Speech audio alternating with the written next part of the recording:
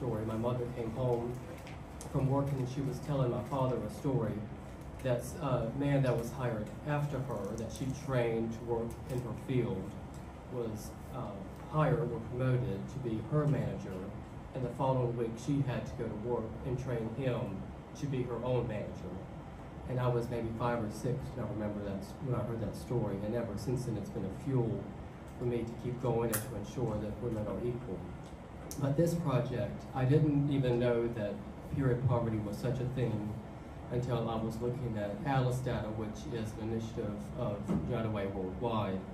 And it's, um, if you can't, really, if you can't take care of yourself and you can't take care of your children, how can you afford these uh, lavishes that they used to call them? Thank God they're not called that anymore.